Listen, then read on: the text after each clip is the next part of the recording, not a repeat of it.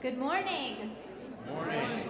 It's great to see everyone this morning. If you'll stand, we're going to worship together.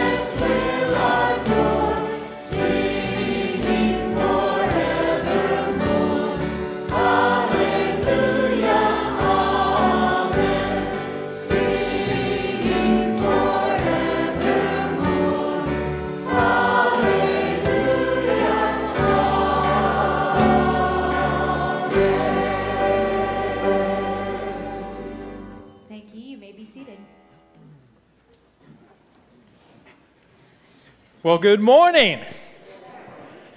You may have came in with no snow on the ground, but you will be leaving in a blizzard it looks like. So But you made it. You made it. You may have to stay here all night. So prepare yourselves. Well, it is good to be in the house of the Lord, isn't it?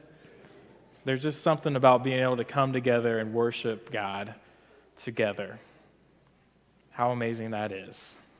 There are people right now that are doing this in secret because they don't have that freedom. So we are blessed. We are blessed.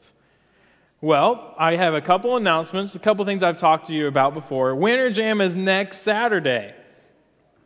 If you would like to be a part of the, the family group that is going, we are meeting at 2.30 in the parking lot um, close to Benner's side, and we will be carpooling together. So if you want to come and then ride with someone else, that would be great. We'll all go up together. They will have concessions and everything there. It's $15 at the door. We may have to wait in line. Just prepare yourselves. But the teens are also going. This does not include them. They have their own way that they are going. So this is for anyone that's not part of Teens of Faith.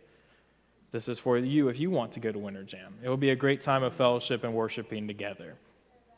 Also, Superstart is in March. Superstart is a preteen conference. It's geared towards preteens. We have limited amount of space. So if you have a fourth, fifth, or sixth grader that are wanting to go, talk to me if you have questions, but they need to register soon so they can guarantee their spots. All right. Well, I'm Pastor Jared. I get to give you a, a glimpse of what we discuss and talk about in Faith Kids on Sunday mornings. And we've been talking about a day at the museum. Before we get into muse- museums, though, have you ever had someone tell you, well, you had to be there? You can't comprehend what they're, what they're laughing about, what is so great about it, because you weren't there and they're making you aware. You had to be there to experience it. Experience is a big thing.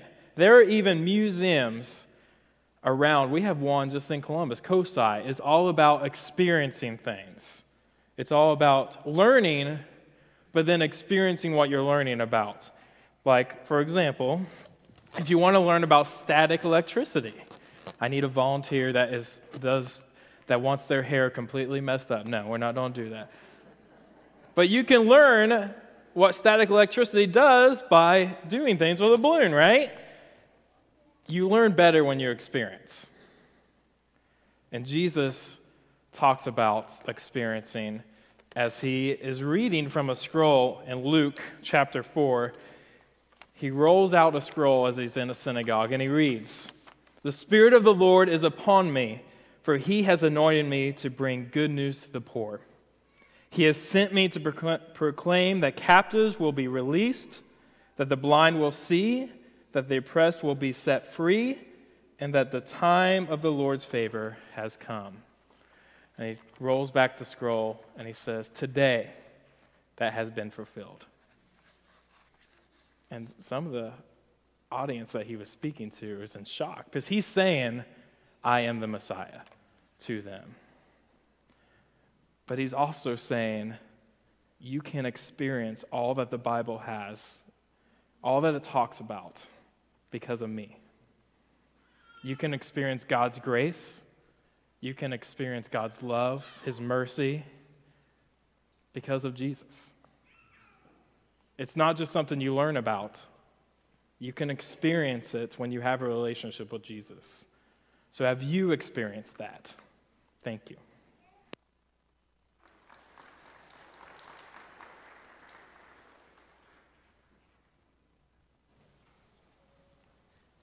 Well, good morning. We hope you've sensed a warm welcome inside the walls of this church, even though it's cold outside. But it is beautiful, I have to say. It is beautiful. And as I was driving in it this morning, I was thinking of the, um, the words, morning by morning, new mercies I see. And with that fresh, new fallen snow, um, I don't know, it just reminded me of that. So, anyways, we're glad that you are here. And um, if you're visiting us with, for, with us for the first time, there are open the door cards in front of you if you would fill one of those out. Or if you are somebody that comes week after week, but you have something that you would just like the pastors to be aware of, um, fill that out and drop that in the offering plate as well. And uh, one of our pastors would be more than happy to reach out to you. Um, they can't know what we're going through unless we share with them. So that would be great. All right, I'm just going to share a few things in the bulletin this morning. Um, the first thing is the PDHC baby bottle campaign is going on now through February 5th. And uh, that day is quickly approaching. So if you have not grabbed a baby bottle, either out here in the front or off to the side, um, do so and um, fill out. Um, uh, check if you still have those. I do, and my family makes fun of me for that. Um, but if you, or fill it with dollars or coins, silver coins is great, um, but they benefit greatly, and what a wonderful ministry that we have partnered with them. And so, um, but that's due February 5th. Um, Ladies' Night Out is coming February 2nd, and we're going to Olive Garden. And that's always a fun time that we go and just sit and fellowship with women um, and sorry, men, but you guys have your times coming up here in the spring, I'm sure. But, anyways, um, we enjoy that. And so, if you'd like to join us, um, 6 o'clock, and get in contact with Sandy Walls about that if you have any questions. Another thing coming up is the Fame Breakfast, which will be Thursday, February 2nd as well. So that's a happening day, um, and that'll take place at 9 o'clock in the morning. And you guys are going to Frisch's. So if you want to join, uh, that would be great as well. And then finally, um, we have a group of five people that are headed to the Southwest Indian School um, to minister alongside of our own Doug and Becky Darfus. And those five are so excited um, about that. And I know our church family is just as excited for them and this ministry opportunity. Um, they um, are going to serve the kids of that um, Indian boarding school in somewhat like a vacation Bible school, but and that's super exciting and those those five are going to pour into those kids but i also know that what's going to be poured into our five they're going to be able to come back and share with us um, all that's going on so um, if you would like to financially support them they could use your financial support. Um, and so you would just make out a check to Faith Memorial Market Ministry Team. Um, if you want to make it to somebody specific, um, you would just get a name of one of the five that are going, um, or you can do it through WGM. So that is quickly approaching, um, but also more importantly than that is prayer support and just praying for them as they prepare to go and um, just all that God has in store for them because He already has that plan out for them. All right, that's all I have. If you would please stand and bow your head for a word of prayer, that would be great. Lord, we truly are blessed to be in your place this morning with people that um, pour into our lives and who we can pour into their lives. Lord, I thank you for um, every bit of this church. I thank you for the people. I thank you for the pastors. I thank you, Lord, for just being with us every step of the way. Lord, I ask that you continue to bless the things that go on in this church. I pray, Father, that they would be pleasing to you and that, Father, you would um, just share what you would have us to know and uh, speak through Jonathan this morning. Thank you for anointing him and bringing him to us. And I just pray, Lord, that you would open our hearts and our minds um, let the things that maybe are weighing on us be set aside so that, Lord, we can hear what you have to hear for us. Thank you again, Lord, for the morning by morning new mercies we see and help us to focus on those. In Jesus' name we pray. Amen.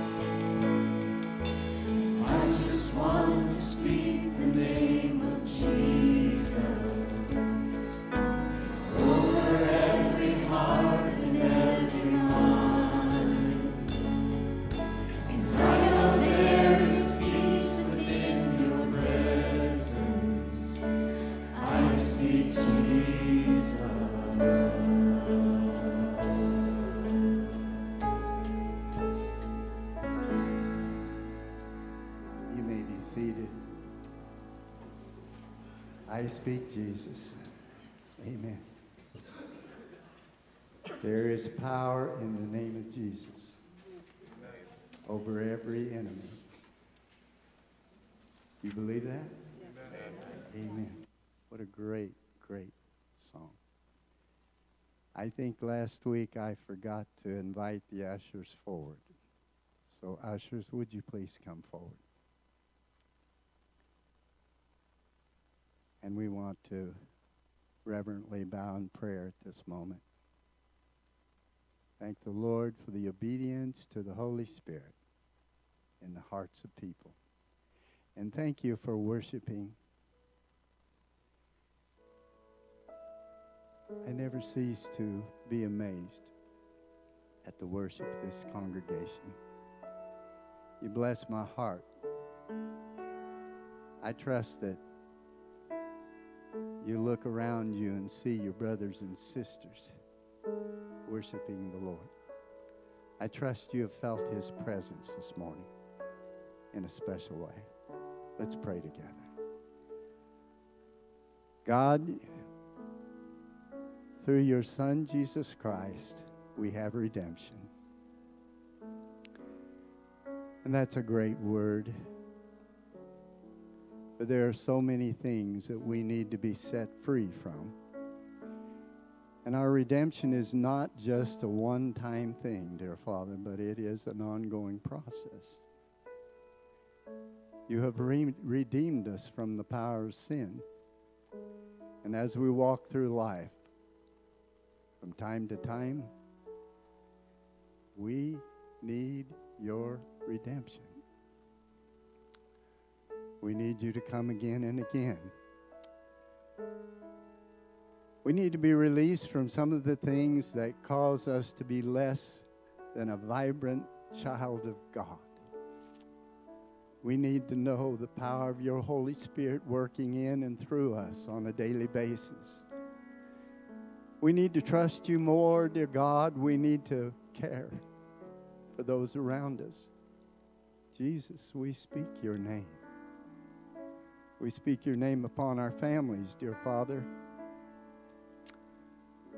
In spite of all that we have done, there are some that have never recognized the power of Jesus Christ in their life. We speak the name of Jesus.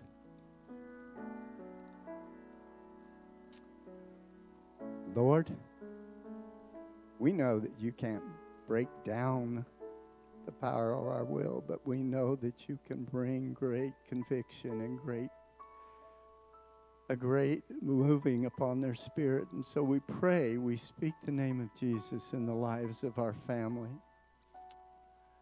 Protect those, dear Father, that need special protection today. And, dear Father, lift up those that need a special touch from you today. Lord, we speak the name of Jesus over those that we see around us day by day. God, so many are burdened down with the weight of sin. And we speak your holy name upon them. Thank you, dear Father, for your love and your grace and your mercy to us. And go with us through the rest of this service. Bless our pastor as he speaks. Be with the choir as they sing now, we pray. In the name of Jesus. Amen.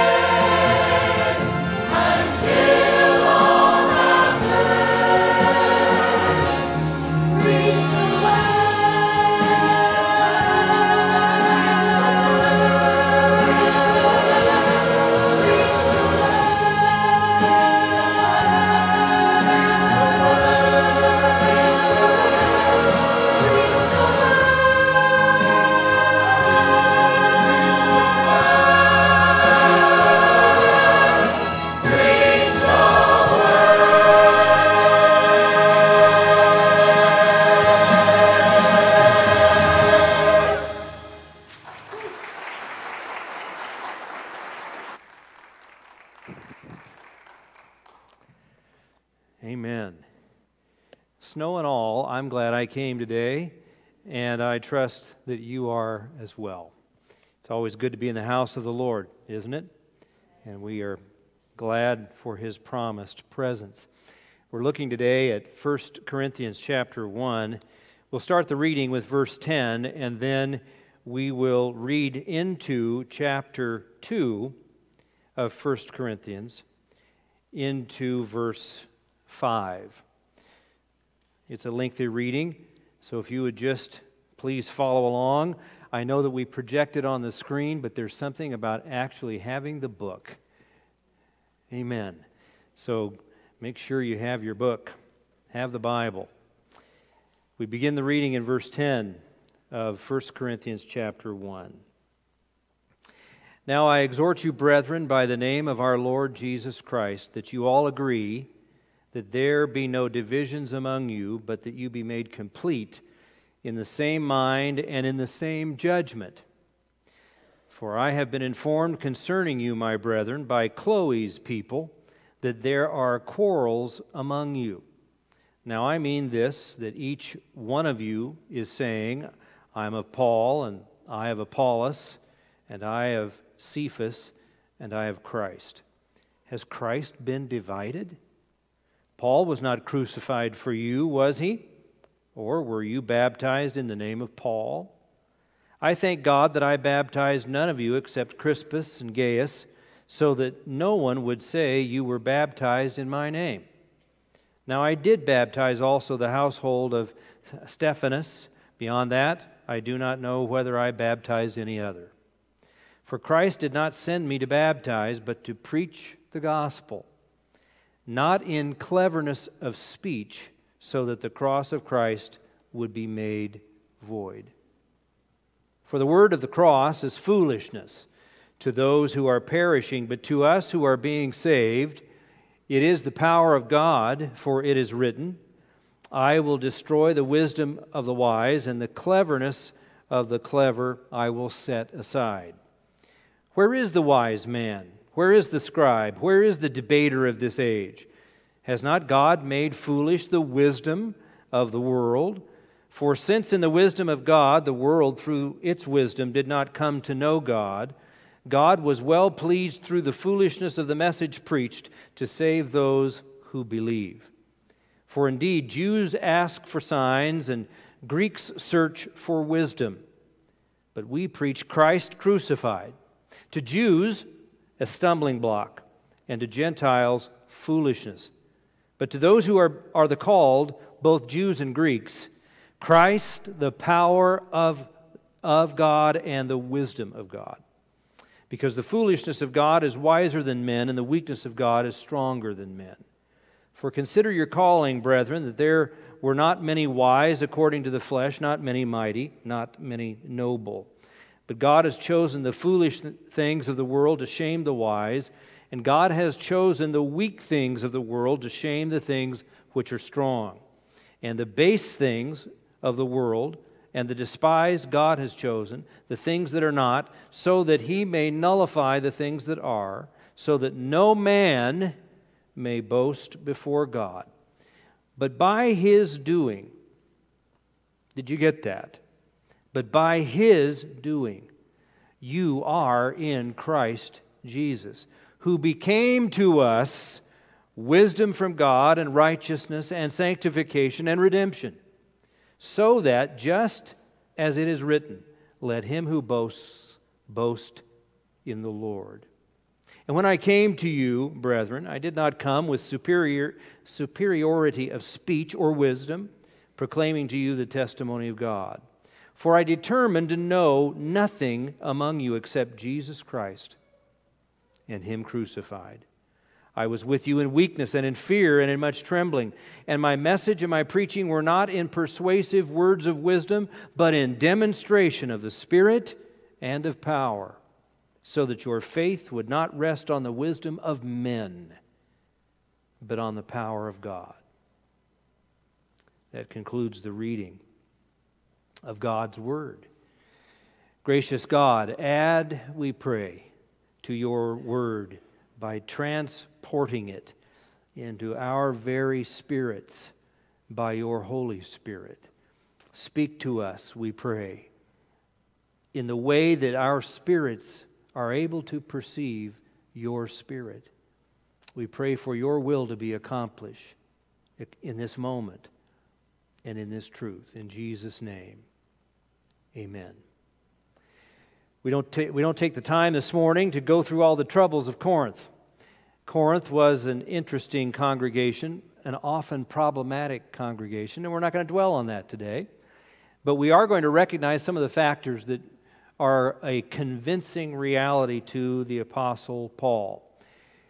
We came across a phrase in both chapter 1, in the verses that we read, and certainly also in chapter 2, where we concluded the reading. And I want us to focus today on God's proven power. God's proven power. Let me state it again God's proven power.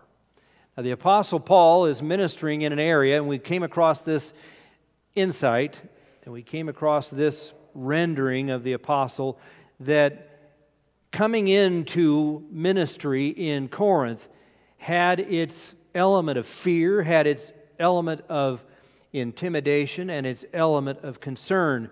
We need to understand how Paul is using that emphasis here. He is not saying he was afraid of the people or afraid of the setting. In fact, what he's afraid of is in any way being diverted from the core of his message. Because Corinth, in its very atmosphere, was a, was a city that loved debate. It loved the skill of argument. It loved eloquent speakers. They loved to gather. It was kind of sport for them to gather and hear someone articulate with great pomp and circumstance and eloquence some view. Then they would just wait for somebody else to pop up and say something totally different. They would believe it pr- probably for about a nanosecond, and then someone else would speak and they would think, oh, he has a good point. But the reality of all of it was it made no difference in their lives. So there was debate, there was oratory, there was skill, there was craftsmanship, and it was great in its, in its ability to kind of rouse one's senses, but it was basically just a flurry of activity. It was a bunch of noise, and nothing was accomplished. Kind of sounds like, kind of sounds like, kind of sounds like today. Bunch of flurry, someone bombastic, someone trying to argue their point and win the argument, but nothing changes in the outcome. It's not just a waste of time and it's not just a waste of energy, but it's missing the point altogether. So the Apostle Paul said, I just had a fear entering into this atmosphere and entering into the setting that there would be any diversion on my part or drawing in of these antics by others for me to miss the point. Therefore, he says, I determined one thing Jesus Christ and Him crucified. Jesus Christ and Him crucified. I'm sticking to it. I'm staying on course. I'm holding to this premise. I'm unmovable, and I will do so with unflinching persistence and the power of God, I will declare this Jesus Christ and Him crucified. But he also says he's aware of the fact of how that might be perceived. He's aware of who the message helps, and upon deaf ears as well, the message falls. And he states something interesting. He says, The message, Jesus Christ and Him crucified, is to the Jews offensive because cursed is he who dies on a tree. So we know that it's a message that is just repulsive in a number of ways, and many Jews are not going to come to terms with the fact that this had to be in order for salvation to be made possible. They'll get hung up on the repulsive idea that in any way, shape, or form their Savior could die cursed. Then we have the Greeks. They'll look at it and say, This is weakness. He's a wimp. Who in the world could follow a wimp? Who in the world could follow someone who could be taken without fight and crucified on a tree? So he is foolishness. This is foolishness. The cross is foolishness to the Gentiles. And it is offensive, it's repulsive to the Jews. Now, you think about that.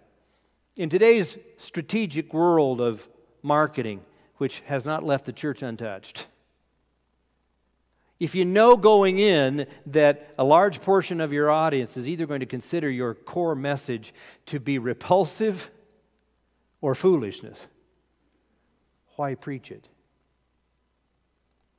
Why preach it? In fact, many settings have decided against it. But here's what the Apostle Paul, and we need to hear this today. Here's what the Apostle Paul cannot get away from and won't get away from it is the power of God. I'm not going to quit preaching the cross. I'm not going to quit preaching this message. Why?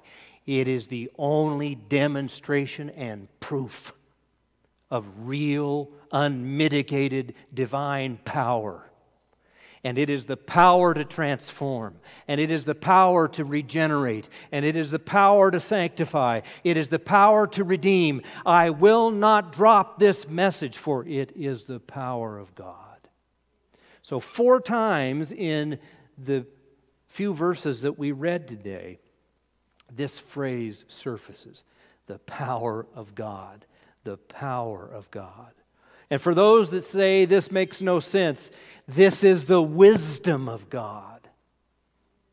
God, in His wisdom, God, in His perfect understanding, knew that Jesus dying on a cross for the sin of the world made perfect sense. Amen. The world might scoff, the world might have struggle with it, but the cross of Christ is still the answer for the sickness of the soul known as sin. God's proven power. Way too many times we wilt in our faith.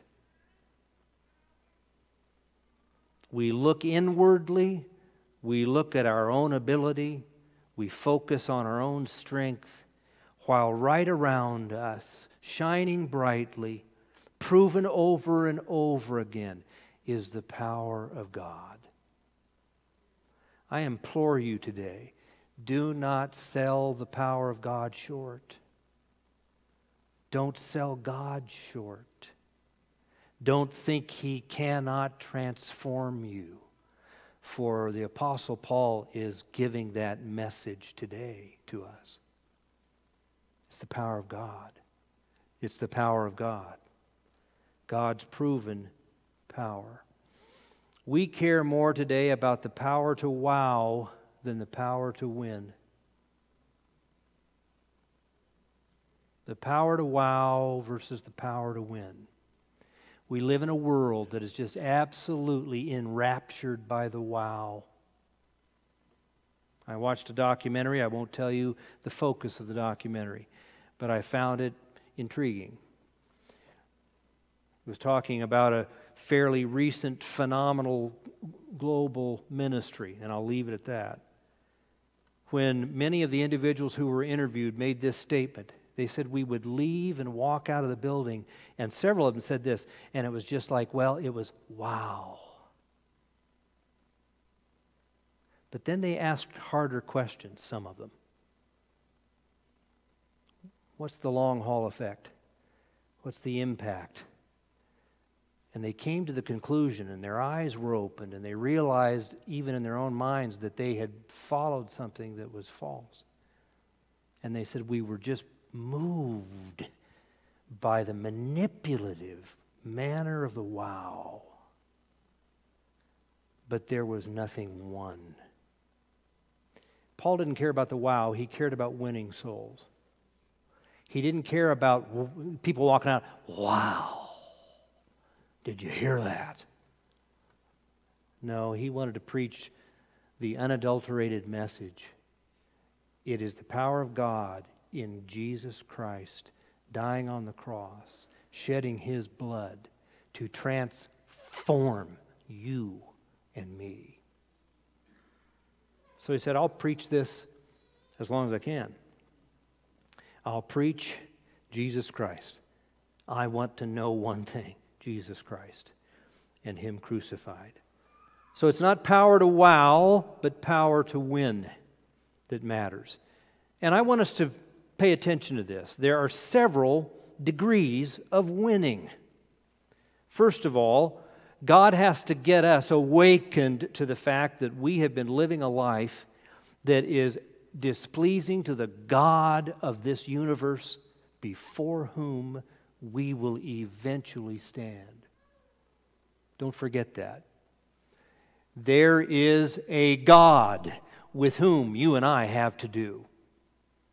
So, whatever your age is, if you're able to morally understand anything, don't forget this reality. We will all stand before Jesus Christ, the righteous judge. We will all give an account. We don't hear a lot of that today, but that is a reality that ought to sober us every day. Not keep us somehow reduced in fear and cowering in the corner. I'm not saying that, but it is a good, wholesome, sobering thought. God aims to win us by winning our attention, awakening us to our lostness, and bringing us to an initial understanding of His saving grace through Jesus Christ. He aims to win us. Part of that is kind of winning over our attention, our focus from ourselves, from the world to Him. But eventually it goes far deeper than that. God aims to win in us. He aims not only just to win us over, to kind of get us introduced and bring us in, but He aims to win in us, in the inner person, in the inside being. He aims to win in us so that we no longer live by the inclination of fallenness, but we live by a new nature that is akin to His that we actually become partakers of the divine nature. He wants to win in us. He wants to win in you, and He wants to win in me. One of the ways that He does that is continue to bring the conditions to us that we recognize and that we understand, and that ultimately we are called upon to humble ourselves completely.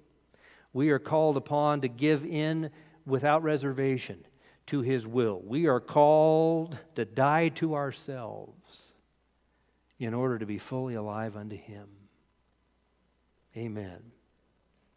Amen. He aims to purify, he aims to cleanse us from our own rottenness. Is that clear enough? It's not power to wow, it's power to win. And God aims through the blood of Jesus and the power of His Spirit to claim us for all of His grand purposes. It's also not power to merely speak convincingly, but to speak for change, to speak for transformation. You know what? You can win the argument and a soul is unchanged.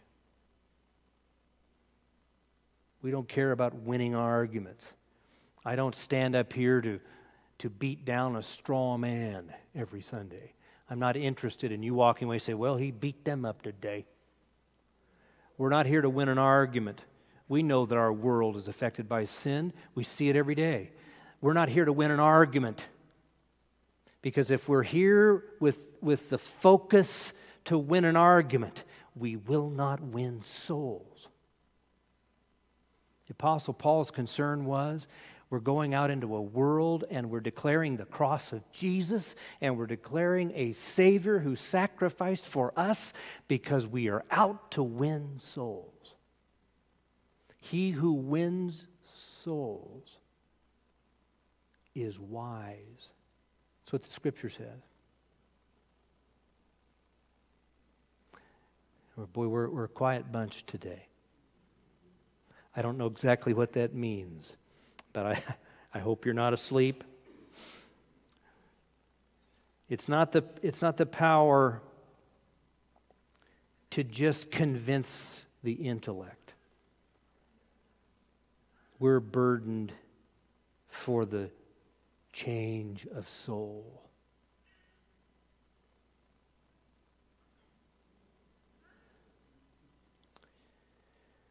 So it's not the power to wow that we care about or just to convince with our speech, but to change. And friends, Paul wasn't concerned with the power to perform, but to prove. Verse 4 of chapter 2, he says this And my message and my preaching were not in persuasive words of wisdom Now, he doesn't mean that we don't care about trying to persuade men, because he'll say as well, we persuade men. What he's saying is this we're not interested, again, if we look at the context and if we look at how he's using this whole area of Corinth and their tendency, he says we're not concerned about just how precise and how convincing and persuasive our words might be. Rather, we are here to be evidence and proof. Demonstration is the word here. But in demonstration of the Spirit and of power. There is an irrefutable evidence that the devil cannot nullify and the world cannot dismiss, and that is the evidence of a changed life. You hear me? When somebody shows up to work and they say, You know, I've noticed something. You're a lot different. You don't talk the way you used to. Stuff's been really cleaned up in your, even in your language, in your behavior. I found out you're, you're, attend, you're, you're, you're attending church. Most of the time, they don't say worship because we don't, a lot of folks don't understand that. They just think you're going to church. I found out you're going to church. By the way, that's a good thing. You're not what you used to be. You're not meaner than a junkyard dog like you used to be. You're trustworthy. You're not just looking out for yourself. What in the world happened to you?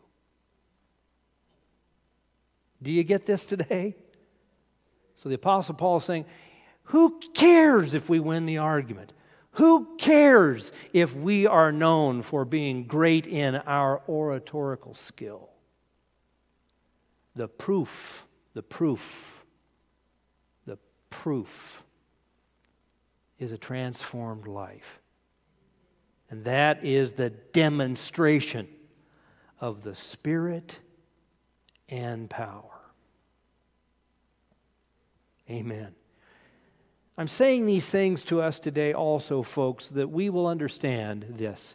Not only is this the proof, not only is this what God does to prove Himself and to prove His truth and to enforce the gospel and to give credibility to this great truth so that the world may know, but it's also for you and me that we will understand the kind of power that is on our side for our good. And that we will not just limp around spiritually, barely making it. God help us. We have the power of God and the Spirit as our resource so that everything God aims to do, He can deliver on it. He can deliver on His promise. Way too often, let me just tell you something God is not, His arm is not shortened that He cannot save. God is not slack concerning His promises. If we are not encountering the overwhelming, incalculable, incalculable grace of God.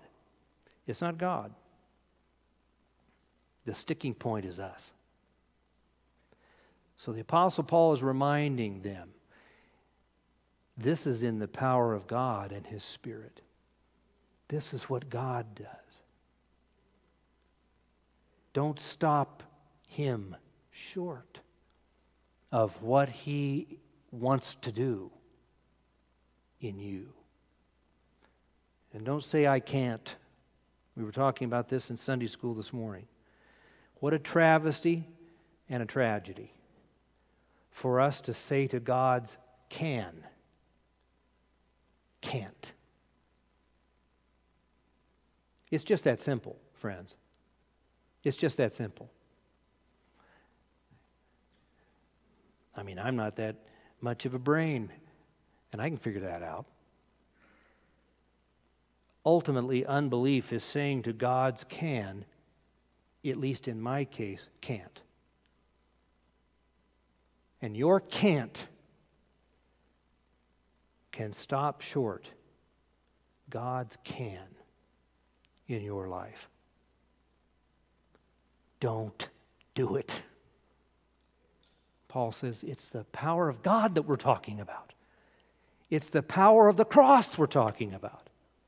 It's the power of a Savior who perfectly, perfectly meets our need. And this whole thing was God's plan. Oh. Our hope, our grounding, our foundation is not in us. Thanks, thanks be unto God.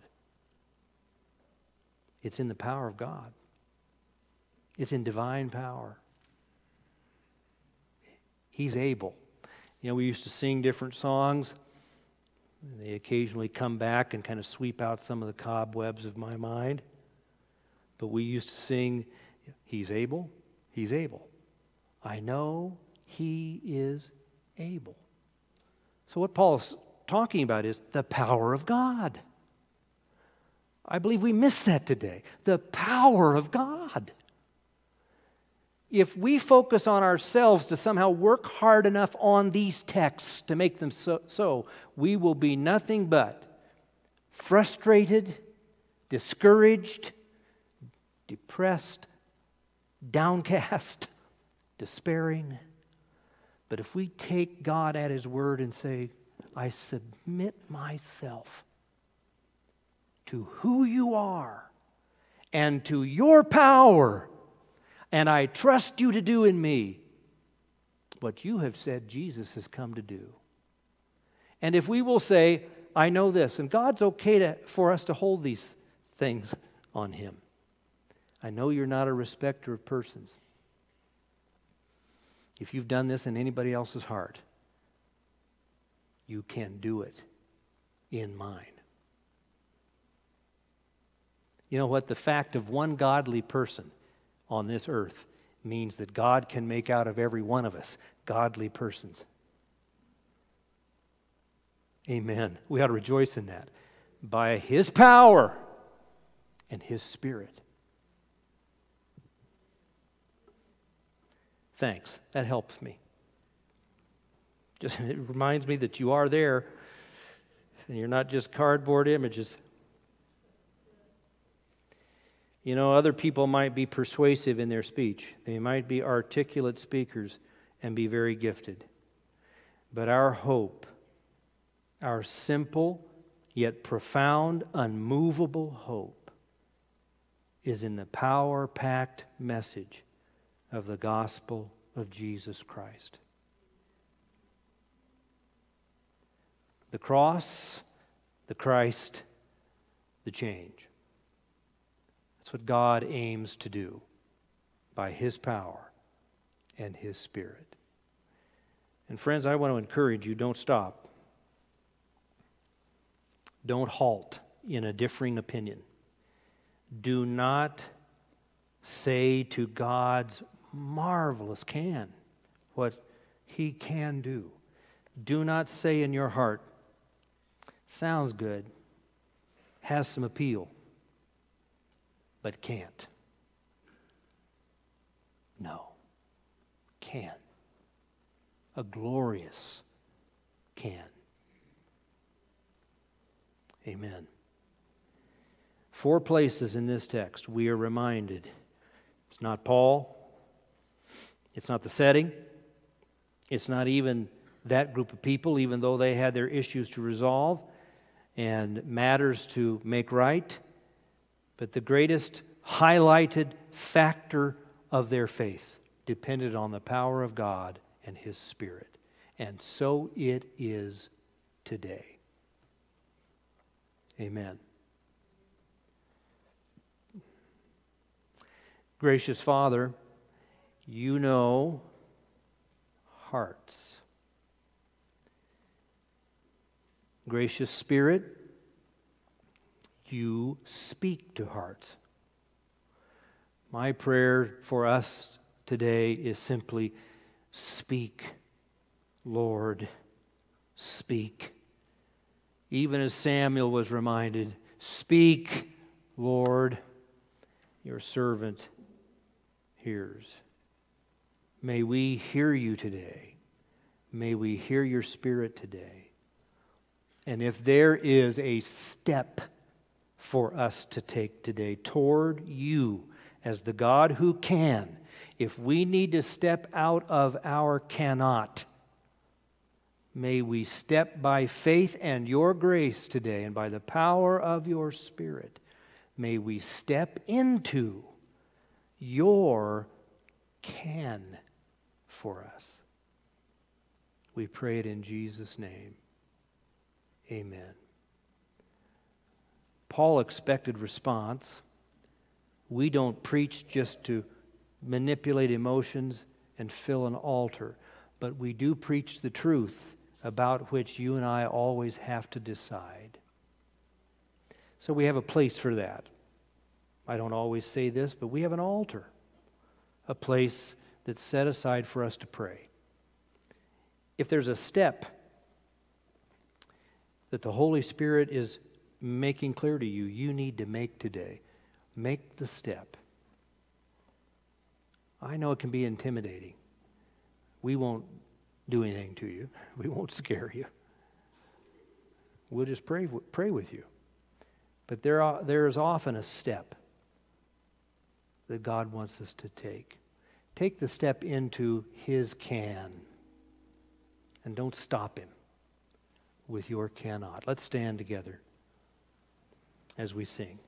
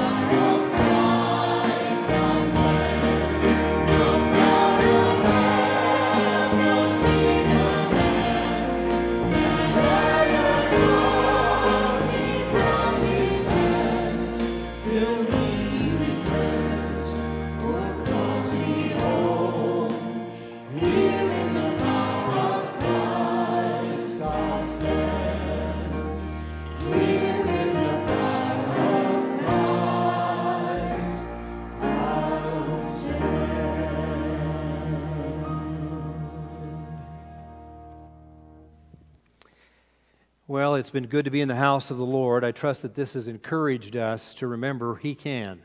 He can. He can. It's not can doism. I just want us to note that before we leave today. I would never, ever preach to us. It is our can doism. We don't believe in bootstrap salvation, but we believe He can. Amen? He is certainly able to do what He said He will do. Oh, we need to just believe that and obey and walk in that. Well, this goes without saying, but I'll say it nonetheless.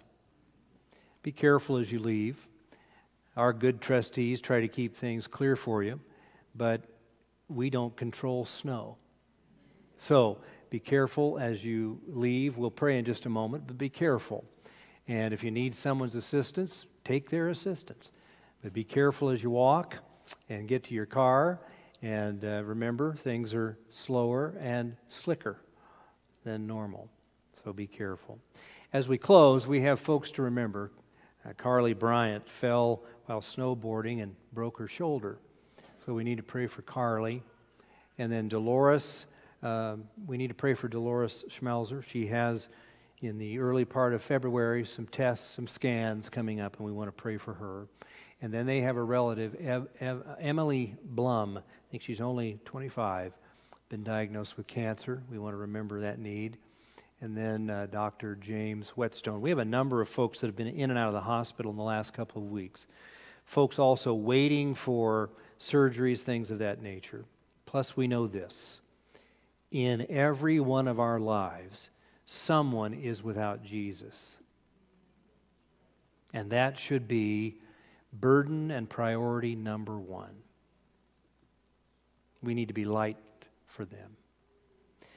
Father, as we close our time of worship together. We thank you for your presence. We thank you for your truth. We pray, Father, that this won't be just where we walk out and think we've heard something interesting and compelling, but there is no change. We pray, O oh God, that we will not stop short of the message with its instruction without it becoming application in each of our lives. Thank you that you're as faithful today as you ever and always have been. You love us this day. We are marked by your unfailing love. You're in as much pursuit of us today as when David wrote Psalm 23 and said that very thing at the conclusion of that great psalm. You are in pursuit of us and we praise your name. God, help us to believe wholly, completely in your promise of what you can do, not just for us, but in us. We pray for these needs that have been mentioned. We pray for the ongoing needs of many others. We also know that there's comfort needed with folks who are aware of timing and when a dear loved one passed from this life to the next. Be a God of all comfort, we pray. Then, Father, we also lift today our dear sister in the faith, Elisa Thomas. And Lord, we know that this week she will be off on her next assignment to Japan. We pray not only for protection and safety, but we pray, oh God, for placement and usefulness. We pray that you would use her in the intersections of people's lives, whether those are coworkers or people she assists. We pray that her light, that is a reflection of your light, will shine brightly. And we pray that you would use her as the presence of salt, flavoring that whole scene. Keep her, we pray. Glad that she's been with us, and we pray your blessing upon her.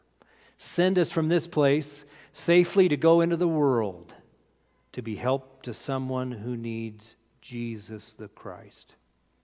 In his holy name we pray. Amen. Amen. May God go with you His Spirit guide you. You are dismissed.